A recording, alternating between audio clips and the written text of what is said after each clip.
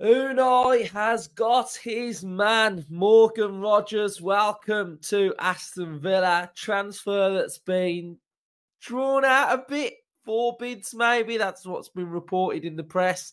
Uh, but yeah, buzzing to get Morgan Rogers, a really exciting player. Uh, somebody with a really, really high ceiling, but also somebody that I think can add some key characteristics to the Aston Villa side, which we currently don't have. And, you know, the one thing that I will always say about any player that joins Aston Villa is kind of forget about what they were doing and think about what Unai can turn that player into.